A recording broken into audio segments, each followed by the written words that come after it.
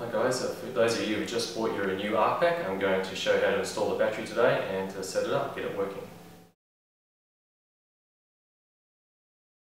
Okay guys, today I'm going to show you how to fit the battery inside your ArkPak and set up the, the correct settings on the screen. Start out with your, your ArkPak on the ground, just open the lid up, release the latch, and just let the lid tilt back down until it touches the ground so the ArkPak's stable. Thing you need to do, get the battery straps, just take the long strap and sit it inside the lid there so it stays there. You can just get the short strap and just put it into the, the latch. If you just poke it in underneath it'll stay there by itself. Step is to take your battery, this particular battery uh, it's an AGM battery, 105 amp hour, the bat battery type and the capacity are normally printed on the top or on the side on the label. This one has a removable handle, so I'll be taking that off once I put the battery in. So simply just stick the battery up. Into the ArkPak like that. I'll take the handle off in this case. To secure the battery strap. Nice and firm.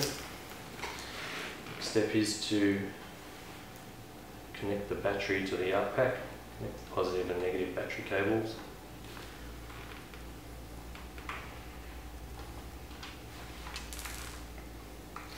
Just undoing the terminal bolts. So first we connect the black cable and the temperature sensor to the negative side.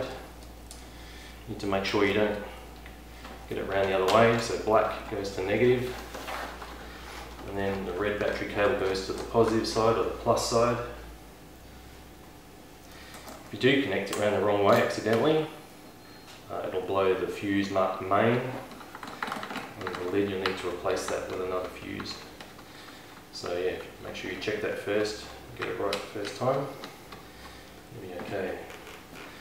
You tighten down those terminal bolts uh, nice and firm. Um, if you don't, if they're loose, then you can get the, the cable moving around and you can uh, lose your connection to the battery. You might get an open circuit alarm on the screen. the other problem is you might get a, a lot of heat build up there from a poor electrical contact. So make sure they're tight. Just check there's uh, nothing interfering with the cables uh, before you close the lid, that's all good.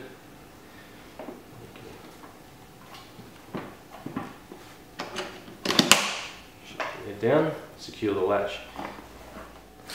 Okay, so now you turn the ArkPak on, press the on off button.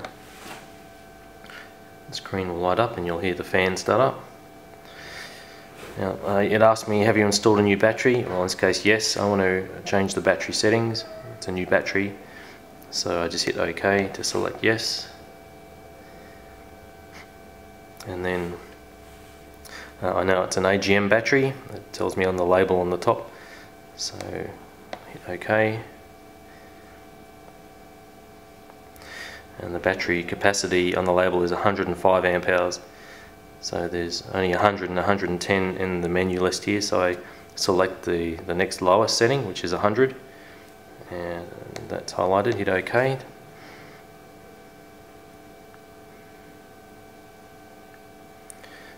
And then the main data screen will come up, and you're ready to use the ArkPak.